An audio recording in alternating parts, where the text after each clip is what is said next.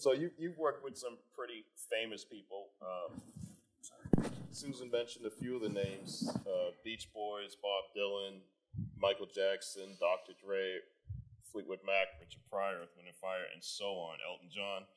Is there any difference between working with a super celebrity and a standard artist just coming up?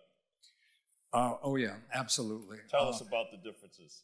Well, you know, when an artist is just getting started, they need all the help they can get, all the breaks, and um, so you know, the business people can loom large in their life to try to equalize the lack of bargaining position between the artist and the company. Uh, when an artist is a superstar, they're used to getting their way.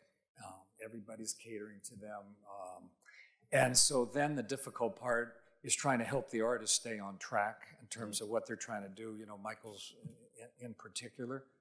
Um, but there could be a you know a big difference every once in a while. You see a new artist. There was an artist named Terence Trent D'Arby. I'm sure I'm mentioning names that people don't know.